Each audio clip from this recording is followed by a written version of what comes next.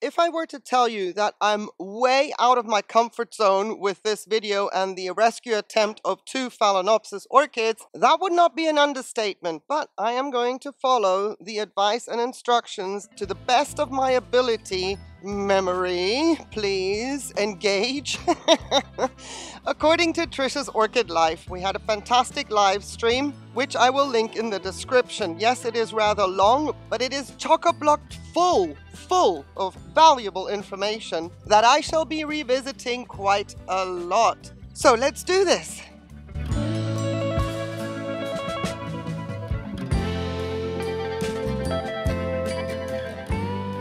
I'm going to start with the less messy one. This is my insolence, terminal spike, etc. Now, the instructions were as follows to the best of my recollection. It's to pot her up. As you can see, I've had her in the swag and bag system set up here for rescue so that there's not that much hydration being lost through the leaves because I have an extremely dry climate. However, you see there's a little nubbin here. Where's that little nubbin? There. For the past, let's say three weeks, maybe more that she's been with the swag and bag, that nubbin has not really had a chance to move.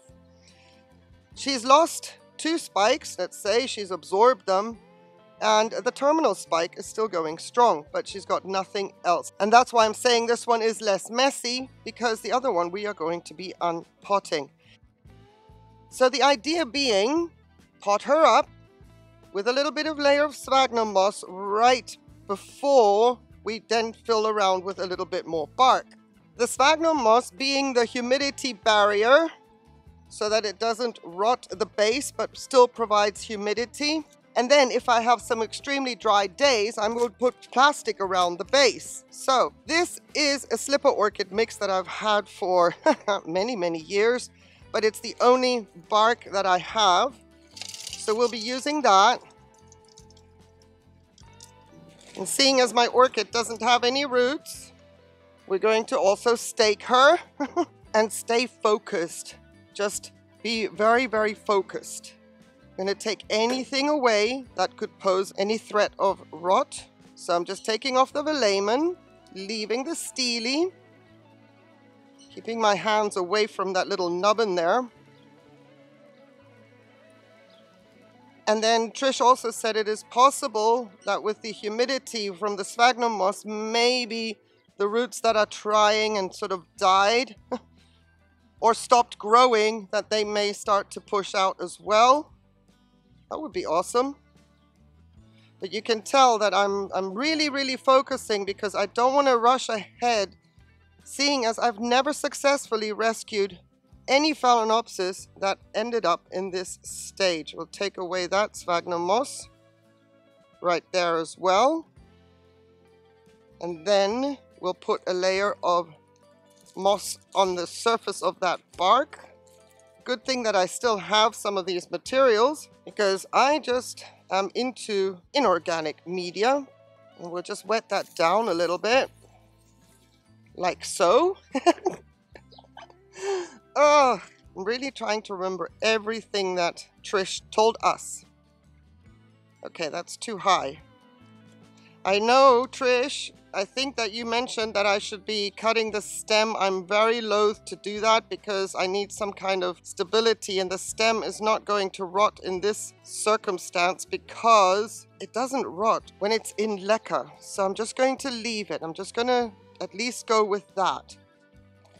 Maybe just get a little bit more moss down here. Let's look at the back. Tuck all that moss in over there. Get all of it nice and close. And I'm patting it in a little bit just so that it doesn't go anywhere where I don't want it. My swag and bag method was the last resort because, as I mentioned, I have never been able to successfully bring a Phalaenopsis orchid back once she's gotten to this stage. In all of my years of growing these orchids, it's never been a good thing for me. I feel I should just add a little bit more.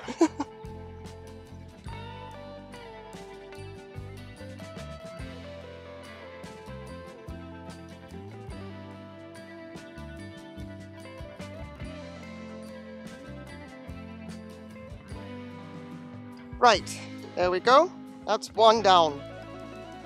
I'm just gonna put some more moss that was in the bag anyway on the top. I'm telling you, my humidity is non-existent. That's why I'm so apprehensive about having her in a pot. But we're going to do this. We're going to do this and see what happens. So I'm just going to add a little bit more. Seeing as it's already wet, I'm not going to throw it out. And if you're new to my channel and you wonder why I keep saying my humidity is non-existent, I don't have a humidifier. I don't use humidifiers or anything like that. I am in southern Spain and it is a very, very warm time of year where the air is hot and dry. Something I absolutely enjoy rescue orchids do not. So what I'm going to do on top of that is put her in the bag. Again, like so.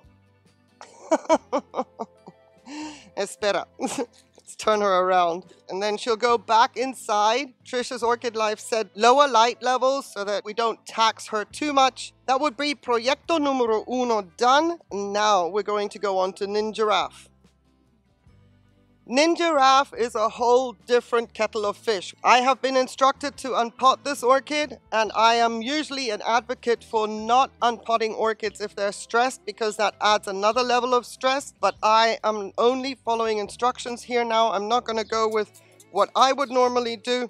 But we did see mold in the crown during the live stream. So this orchid now has also been decapitated because the whole top was just all gooey. So there's going to be a little bit more hydrogen peroxide in there. And we're going to let that fizz while we deal with the unpotting. And it is fizzing a lot. It is really fizzing. Wow. In prior treatments, I have given her a lot of dragon's blood, as you can see. And that is what's made the whole pot look a little bit red. And the instructions here are to unpot her, remove the sponge that is in the middle, and I hope that we have something to work with afterwards because roots, as you can see, are there and they're pretty good. So, remove the sponge and we're going to take the velamen off and we're going to leave the stele. We're going to leave that behind. We're not cutting the stele off. Just checking for more mold if I see it. Now that I have her out of the pot. Oh, I'm shaking. I'm so nervous about this. You see how close up that little sponge plug is there? That is possibly one of the reasons that the orchid wasn't happy with that vicinity to her stem like that and so up close. There's a piece of bark wedged in there. Let's create some aeration. That's the whole point of this exercise for this specific orchid. All right, because there's rot, we've got stem rot, we want aeration around that stem, but we want to maintain the roots, which, well, they're coming into a little bit of a drier setup because I have been instructed to use the bark that was in the pot so continue using this because it's what the roots that are alive are accustomed to. So the point is not to remove the bark, just check the dead roots and remove the velamen.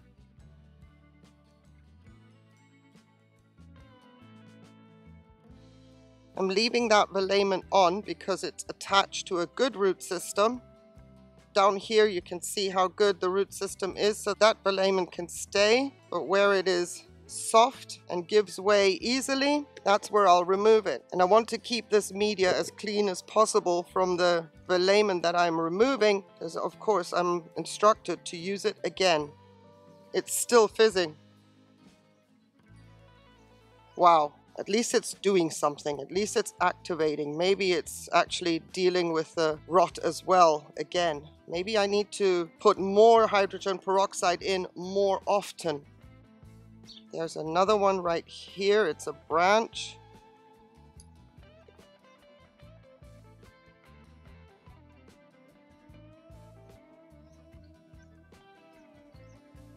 So the idea here being create air around the stem. And if I'm repeating myself and you know all of this already, it is me talking to myself out loud just to stay on track. Again, I'm way out of my comfort zone here. So the instructions are to use that bark, put her into a mask, like I have here, which I'm going to wash out. I'll be right back. While I was cleaning the mask, I thought, no, no, no, no, no. That's not what I was told to do. I need a clear pot. So here's a bigger size clear pot with the holes burnt in the sides. I need to put the roots on the outer edges so I can monitor them. That is what I was told to do. That's what Trish's Orchid Life does. And then fill up with the older media. Now this is a bigger pot, of course, so I will be adding my bark into it, some fresh bark, but I'm going to get all the older media down around the roots that are accustomed to it and only top up with the fresh bark. And just to make sure that I have roots on the sides of the pot that I can monitor. Those were the instructions. Oh, I was just going to put her back into the white mask. Let me get the root right here to the outer edge. And I want the old bark to be more in the middle. Also to touch the roots that were in the sponge that are used to a very wet environment. I've got roots on the outer edges. Okay, so far so good. Wow, if you're here, still, thank you so much. Oh, my heart is pounding. It is going 100 miles an hour. Let my orchids know that you want them to live. Give this video a like, please. I'm going to add a bit of sphagnum moss right in the center where the roots were accustomed to the sponge, but lower, low enough from the base. I don't want it around the base. This orchid is not being changed to a wet-dry cycle. That's not the point of the exercise. The existing roots will have the same kind of humidity and moisture around them that they're used to. If I let them dry out a little bit on the outer edges, that's okay in my opinion, but I don't want the whole pot to go bone dry for any length of time. I'm trying to recreate the media mix the medium moisture ratio as before. So we're going to stay true and just follow instructions. And those are now snug up against a media that will retain water. And I'm going to top up with bark. This slipper bark mix that I have has some sponge in it, which is okay because it will also replicate, let's say, the degraded media that was in the pot all the way up. Now that I've got a bigger pot, I don't have that. So I'm just going to leave the sponge in this case. The other one, I took the sponge out when I was topping with bark. But here we've got a different scenario. I'm sticking with the principle of keeping the media loosely packed. That I am doing. I'm not going to put them back in the same kind of a tight configuration. So, but I want to make sure that the stem is clear of anything so that I can get some airflow in there. Well, I'll wait for feedback from the experts. Maybe somebody else is going to see this and provide other suggestions. Oh, this leaf is going to come off soon anyway. Oh, see the staining of the dragon's blood? Now the hydrogen peroxide turns into water, so I'm not too concerned about that, but it's the fact that I've got rot in the stem and I don't want it to stay wet too long.